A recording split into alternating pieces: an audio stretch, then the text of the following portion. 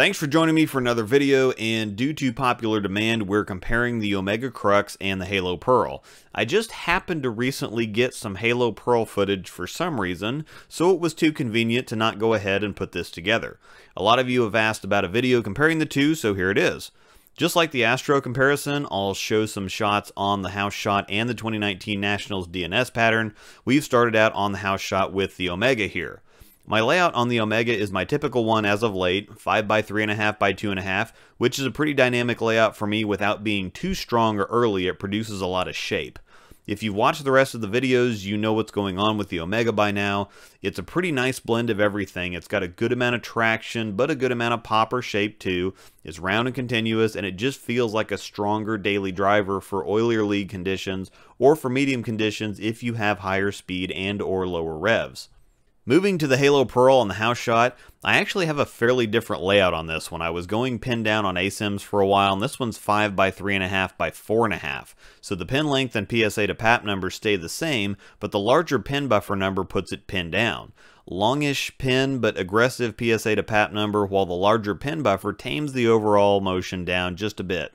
Now, if it had the same layout as the Omega, you'd see a motion closer to that of the Astrophysics. The E-Trax P18 Pearl cover is pretty clean and sharp too, but the Centrum core in the Halo series makes the ball a little more forward rolling down lane.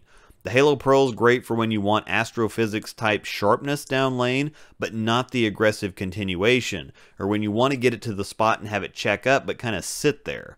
I've used it to a lot of success when I need that punch down lane but want more directional control at the end of the pattern.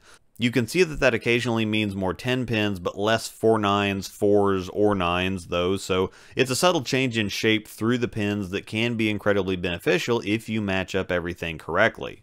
Over to the Omega on the 2019 Nationals DNS shot, and if you couldn't tell, this is going to be my default sport test pattern going forward, but at box surface, the Omega is just a bit too clean for this pattern. It's 42 feet, 28.4 mils, so it's on the longer side of medium and heavier volume.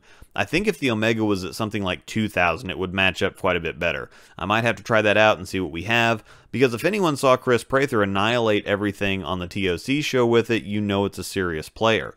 It's exactly the type of look you want on a tougher and heavier pattern. It gives you hook and shape without too much of either one of those.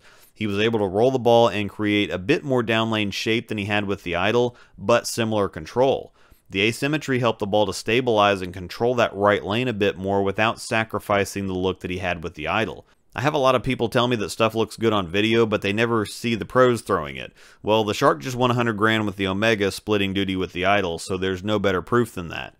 Moving to the Halo Pearl, it looks good, but with that shiny surface, it's just not going to be great on the fresh. This is a 2 or 3 ball once you've gotten some games on the lanes and have some friction to work with, and a critical note to make here, like I said earlier about having punch and being straighter through the pocket, the Halo Pearl will get you down the lane cleanly with enough punch to knock the pins down, but directional control down lane so it doesn't just pick up and take off.